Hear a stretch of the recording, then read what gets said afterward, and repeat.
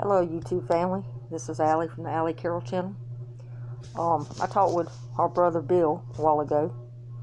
He had surgery today at one something. He didn't get back to his room. I think he said till around five thirty.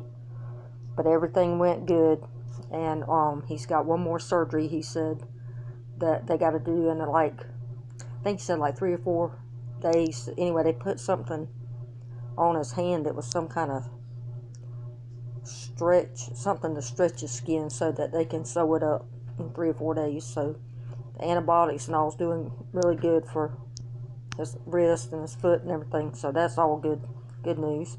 And I, I could tell he was still real groggy. So um, I told him I'd jump on here, give y'all an update.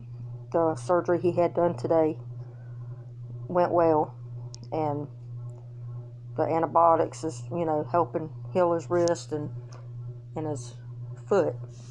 So anyway, y'all, he's enjoying the videos, he said, and he appreciates everybody praying for him and keeping him in the prayers. I told him, don't worry about it. That's what we do. When your family's down, you, that's what you do. You step up.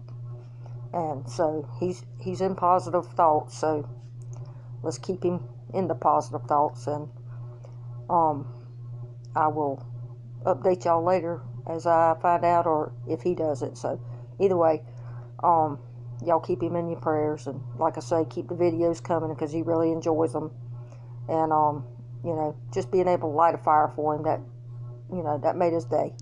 So he greatly appreciates everybody, you know, supporting him, standing behind him, and praying for him. And, um, I guess, uh, for now, that's all I got. But um, y'all, tell somebody you love them. Tomorrow's not promised. And I will catch y'all on my next one. Thank you.